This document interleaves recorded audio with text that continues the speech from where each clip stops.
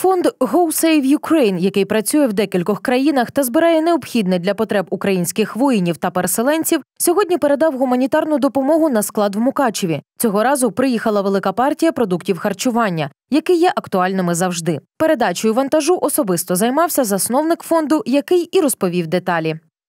Фонд був відкрит в Словаччині, в місті Гумено, е, тому що е, реєстри не працювали.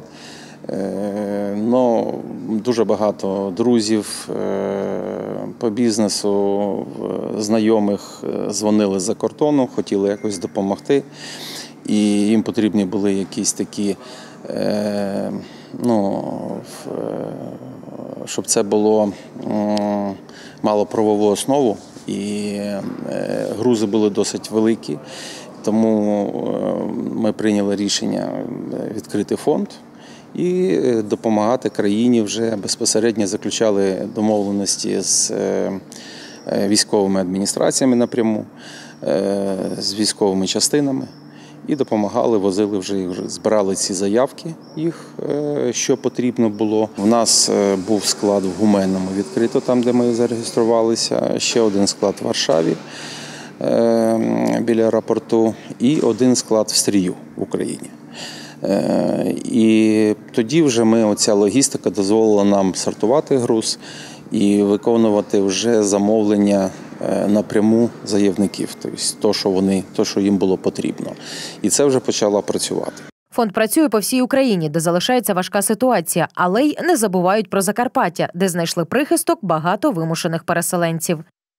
На Закарпатті е, це перше у нас сьогоднішній, ну на цей час е, е, замовлення було. Е, Ми зареєстровані в місті Гуменному. І коли ми спілкувалися з мером Гуменного, він тоді мені повідав, що побратим, місто побратим є Мукачево. І що Мукачево звернулося за допомогою до міста Гуменного за гуманітарною допомогою.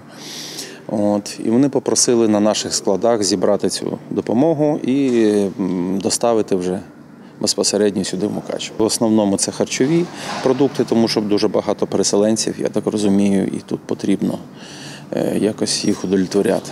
Сьогодні приїхали е, небагато речей, і в основному харчові продукти. Пан Юрій каже, що багато хто допомагає, але вони зі свого боку будуть допомагати стільки, скільки буде потрібно, і навіть після перемоги України у цій війні.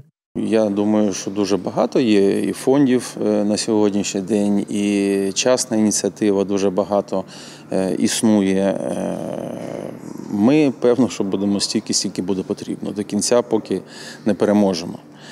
Е, Хоча я думаю, що і після перемоги потрібна буде допомога. Тож спільними зусиллями допомагаємо один одному, підтримуємо українців і нашу державу.